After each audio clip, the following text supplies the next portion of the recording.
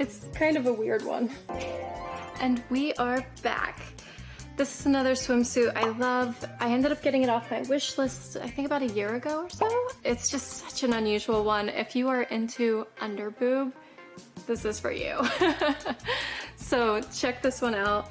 Love these sort of buckle straps, like it's really holding anything in, let's be honest. It's not.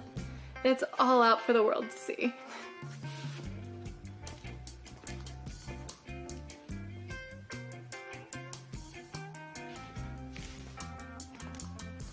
I also really love the cut of these bottoms. I like the sort of high V um, swimsuit cuts of, I guess these would be like early 90s design, but definitely a uh, popular item right now at the moment. This is modern. All the pieces I think I'm showing right now are pretty modern. Even if they're custom made, they're still made recently. So what do you guys think?